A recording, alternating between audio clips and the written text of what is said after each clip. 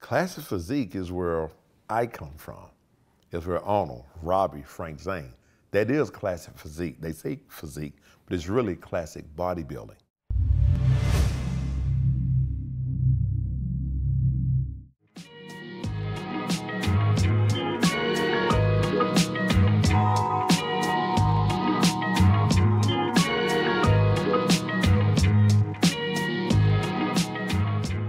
Lot of guys chasing me. You know, it's, it's the sport of bodybuilding has grown tremendously, and so have the uh, the number of competitors. So yes, I do have a lot of added competition that Arnold didn't have to face during this era. Eight Mr. Olympias.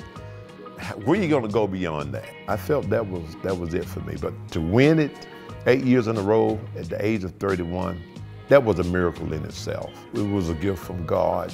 Yes, I had to work hard. You just don't hand gifts out. You have to go get it. And I went and got it with all of my heart.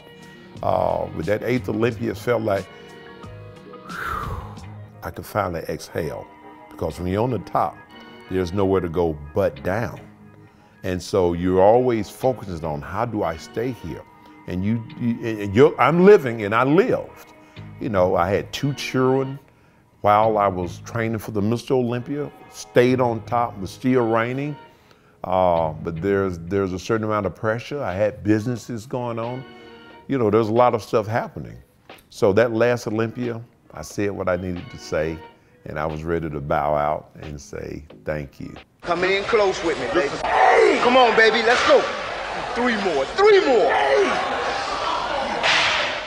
The intensity I generally try to work towards preparing for the Olympia 12 months out of the year. The intensity starts to increase about six months away from the show. Uh, and then the final 12 weeks is when I really start to pour it on because the body cannot withstand uh, a great deal of punishment an entire uh, 17, 18 weeks. So 12 weeks is very intense. Well, it's, it's a lot different now because I have younger bodybuilders that I meet at competitions. And, you know, one of the things that I'm a sticker on is what do your wheels look like? You know, you gotta have some legs.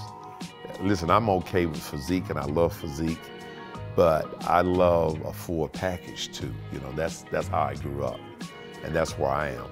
So I wanna know that a guy actually have calves. I wanna know that he have legs.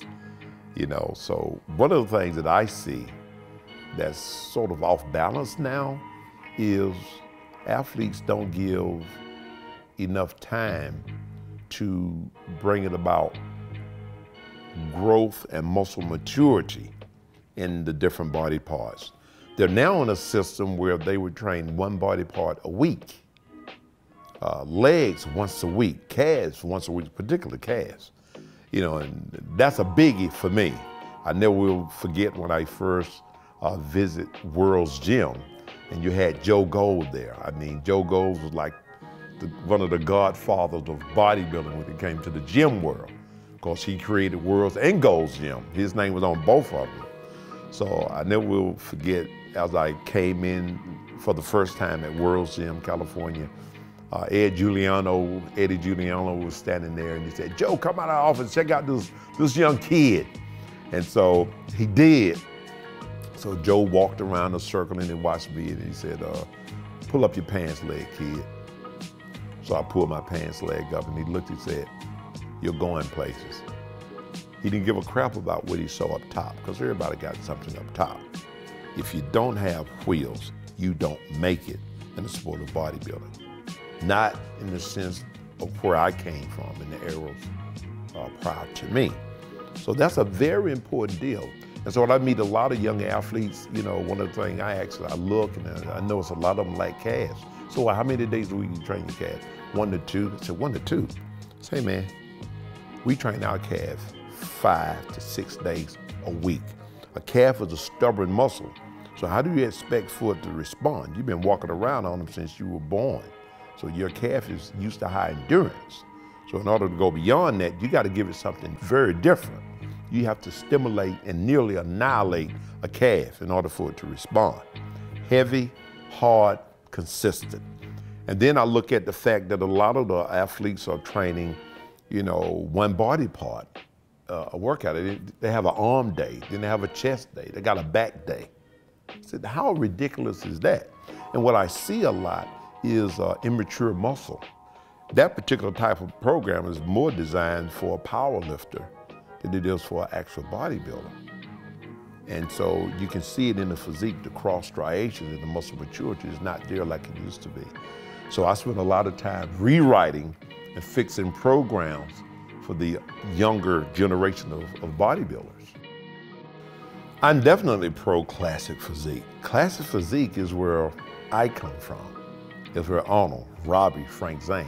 That is classic physique. They say physique, but it's really classic bodybuilding. That's what it is. It's beautiful bodybuilding. You have the vacuum, you have the nice line, and yes, you have the quills. You know, so I see no difference in that. I'm really happy to see that element of bodybuilding make its way back because I felt that the physiques had sort of gotten out of hand. You know, what made bodybuilding beautiful was no longer beautiful. And classic physique brings that back. Bye.